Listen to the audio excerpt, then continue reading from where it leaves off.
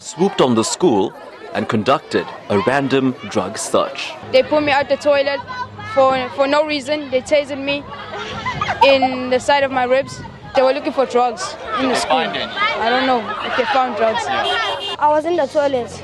And then these two guys came to me and pulled me and dragged me from the toilet and they started hitting me for, for no reason and asked, they asked me for who, do I smoke or and then I said I don't smoke, they hit me for nothing.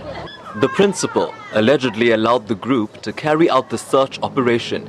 After pupils protested, police escorted him off the premises. The KwaZulu-Natal Department of Education has launched an investigation into the matter, saying it's not the prescribed way of controlling drugs at school.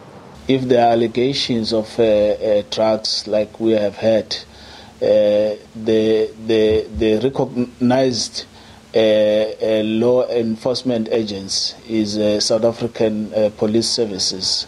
it was then for the school uh, in the form of the school governing body, uh, having reported the matter to the to the to the district that they want to do a session seizure uh, in the in the school because if you then have uh, a SAPS, you have uh, then people who are trained in terms of uh, protocol and procedures. Civil rights group The Active Citizens Movement says the issue should not be prejudged before the department finalizes its investigation. Parents admit there's a drug concern at the school but disagree with the way it was addressed. Taresh Hariprasad, SABC News, Durban.